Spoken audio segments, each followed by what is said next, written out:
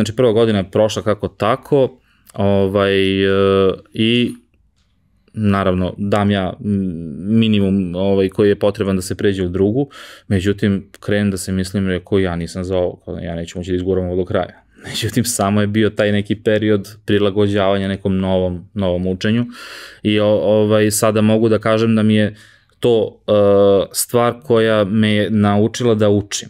Jer ja sad uh, sedim i svakog dana imam dva, dva i po sata kad ja nešto učim. Ja sad učim neku ekonomiju, mislim, doćemo i do toga. Tako da uh, nije mi više strano da uzem knjigu koja je onako ozbiljna i da krenem da je čitam, da je čitam, da savladavam to i kad nešto ne znam, ja onda nađem relevantne ljude pa pitam. Znači, pozoveš telefonom, pitaš, pošalješ poruku, pitaš i to je sve, sve sasvim normalno.